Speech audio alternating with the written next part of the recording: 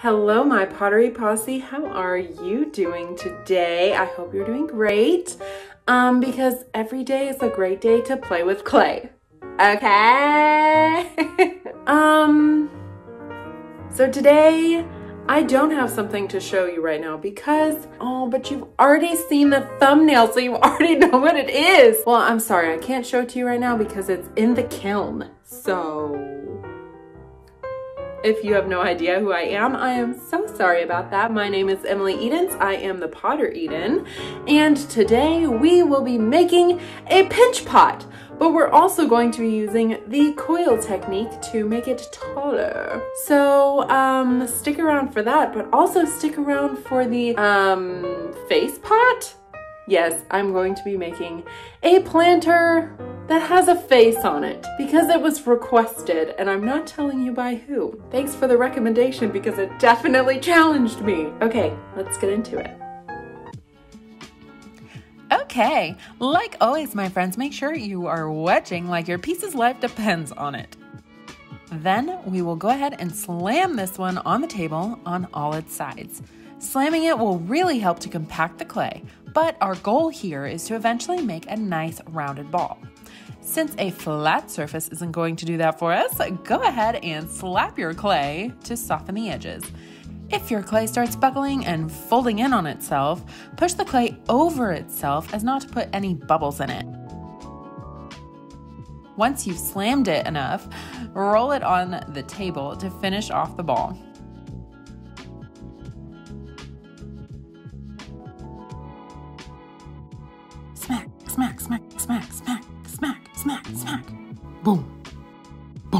Now we're gonna take our thumbs and make a hole to the center of the ball, just the center. Keep your thumb in the middle and wrap your fingers around to the bottom of the ball. Begin pinching from the very bottom with the intent of pushing the clay from the bottom to the rim. Do this in columns, pinching from the bottom to the top and then turning it. You'll want to make sure that you keep your fingers firm and curled. If not, you'll end up making a plate because you'll just be squeezing the clay, making it go outward instead of pulling it up towards the rim. Squish, squish, squish, squish, squish, squish, squish, squish, squish, squish, squish, squish, squish, squish, squish, squish, squish, squish, squish squish, squish, squish, squish, squish, squish, squish, squish, squish, squish, squish, squish, squish, squish. boom, boom.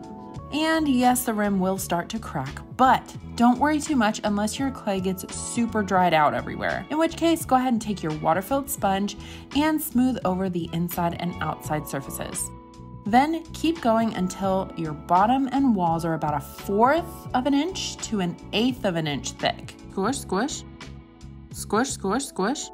Once you've achieved that, smooth over the surface with a sponge and a rubber rib. This little tool has been such a miracle worker in so many ways. If you don't have one already, I highly suggest getting one.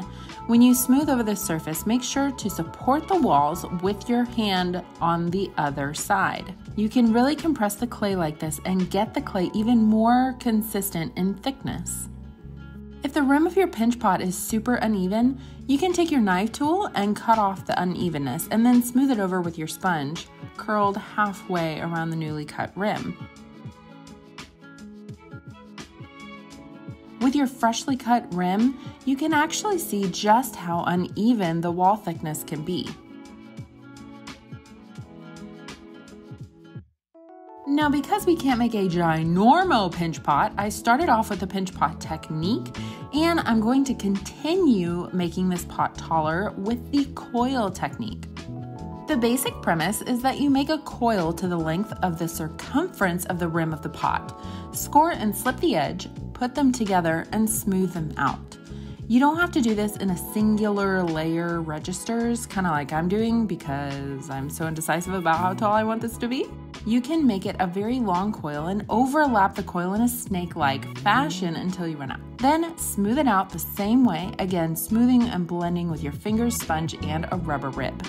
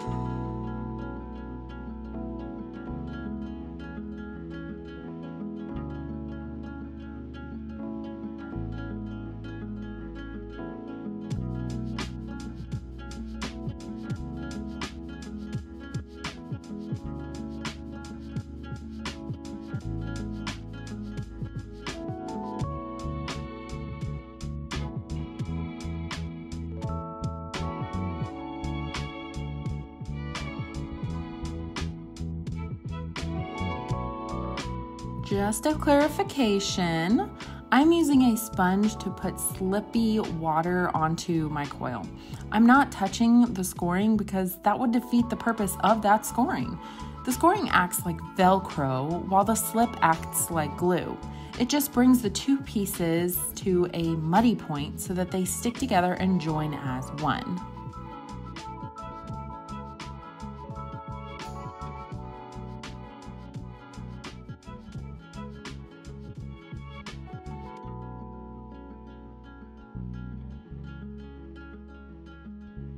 Because I'm making a portrait planter, I'm going to be making some face parts and attaching them. I'm not going to go into too great of detail on how I'm doing this because humanistic sculptural things, that's just, it's not my forte. but basically, I have a picture that I'm looking at to fashion my add ons after, comparing the size of one facial part to the size of another but also emphasizing certain aspects of the face to make it more caricature like. I can't tell you who this is, but I invite you to make guesses in the comment section below. I'll give you a hint. It's a pun, and he is very famous. As I make my pieces, because the surface of the pinch pot is quite moist, I am actually only scoring and slipping on the add-on and then blending it into the pot's surface. I ended up adding another three coils to the top because I made his schnoz so darn big and his eyeballs need a spot to go. So his eyes are actually a white clay that I put lower lid coils on the bottom, just like I'm doing for the top lids now. I also realized that I should have pushed back his eye sockets a bit more than I did. Hindsight's 2020.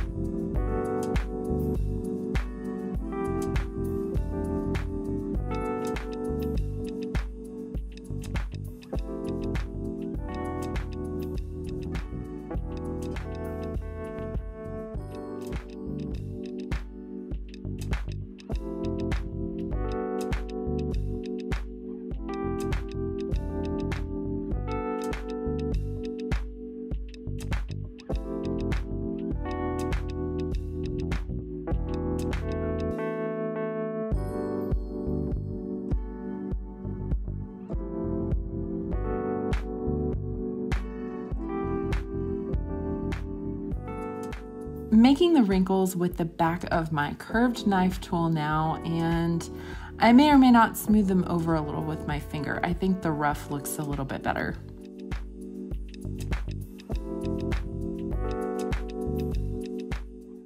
So I started to make pupil holes, which just didn't look right. So I actually just carved out the entire iris.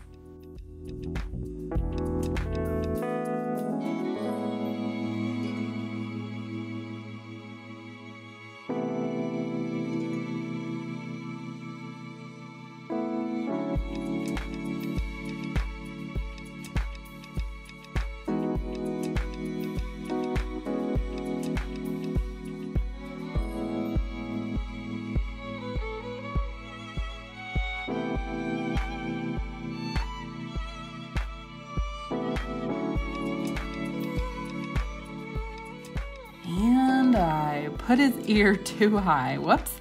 So, if you actually look at the anatomy of drawing a face, you'll see that more often than not, the top of the ear is actually in line with the eyebrows or the top of the eyes, and then the bottom of the ear is in line with the mouth.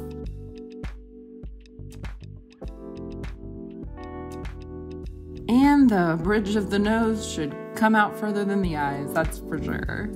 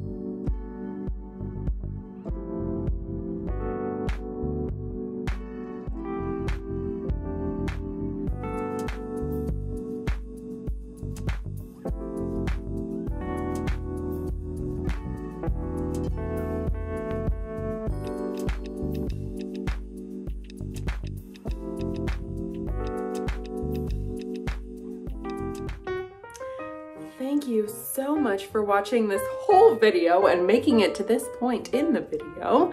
Um, if you feel like it, you can go ahead and like it right down here and you can watch a playlist or watch a video. If you hit the subscribe button, make sure that you haven't before, because if you have before, then that just means that you're unsubscribing. So if you haven't before, hit the subscribe button. And uh, I guess I will see y'all in the next one. Okay, bye!